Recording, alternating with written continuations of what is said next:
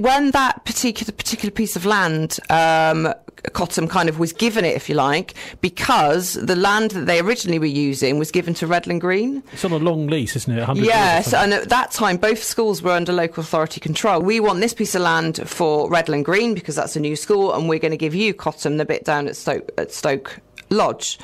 Um, and that would be how it is since academisation has come round, the difference now um, is that the Cotham's relationship as an academy has changed with the local authority. So if the local authority wants or needs Cotham to do something for them, if you like, like expand because we need secondary school places, Cotham is in a position yeah, or, any or share. For example. Or share, yeah. Well, the land is Bristol's, though. It's Bristol's land, and that's undisputed if the local authority needs a, one of its secondary schools to expand, which it does because the local authority has to make sure there's place for every child that it's responsible for, then the, an, an individual academy can refuse to do that.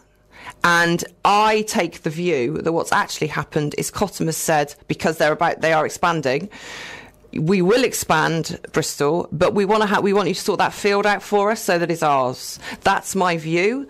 Um, and at national level, the ministers are discussing changing planning laws so that schools can build housing for their staff.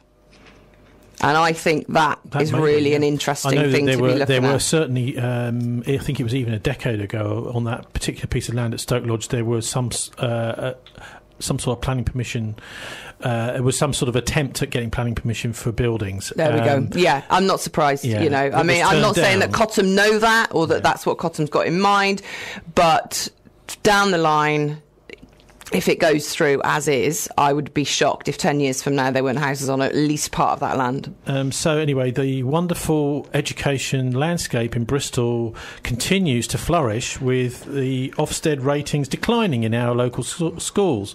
So, why is that? I mean, we were told it was because